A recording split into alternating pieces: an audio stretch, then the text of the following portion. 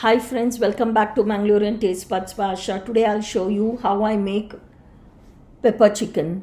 Pepper chicken is not just simple to make but is packed with authentic flavors from black pepper and spices.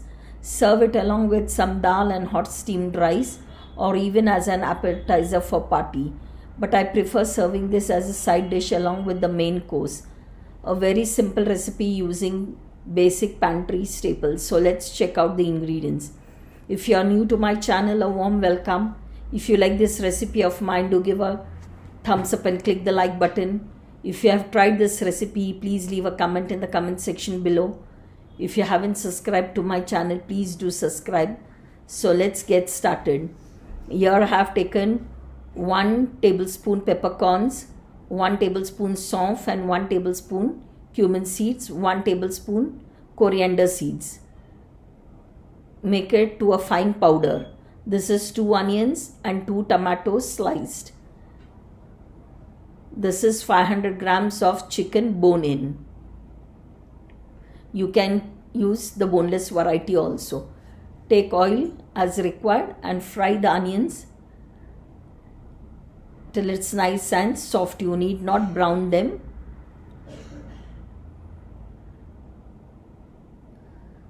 add salt as per taste. Add half teaspoon of turmeric powder. Give it a nice good mix.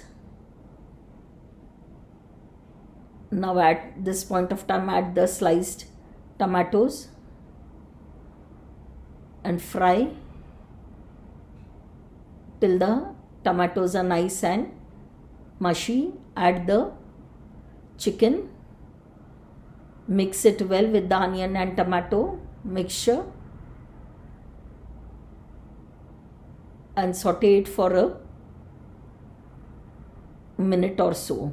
Add the crushed powder that is the pepper cumin saunf and coriander powder. Give it a nice good mix and now let it cook till the meat is done. I added a quarter cup of water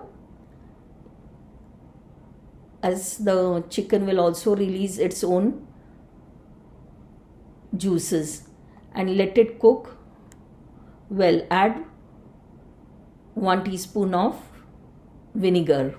This is optional but it brings out a nice spicy tangy flavor to the dish. I like to keep it a little gravy side but if you wish you can dry it out completely. Add chopped coriander leaves. Do give it a try. I'm sure you will enjoy this quick and yummy recipe. Thanks for watching. Please like, share and subscribe to my channel. And do not forget to click the bell icon to get notified as in when I upload a new recipe. The list of ingredients is given in the description box below. So my sweet friends, hope you have enjoyed this quick and yummy recipe. Stay tuned for more such interesting recipes. Till we meet again. Check out my other recipes at Mangalorean Taste Buds by Asha.